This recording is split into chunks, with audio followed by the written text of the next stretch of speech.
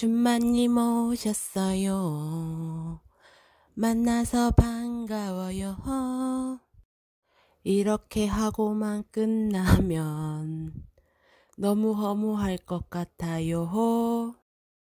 그래서 노래에 요자가 많이 나오는 걸 용기 내서 조금 불러볼게요. 안녕하세요. 또 만났군요. 날마다 이 시간에 지나더니 그저께부터 안 지나기에 내 마음이 약간 야릇했죠. 안녕하세요. 또 만났군요. 다시는 못 만나나 생각했죠. 어쩐 일일까 궁금했는데 다시 만나보아 반가워요. 호호.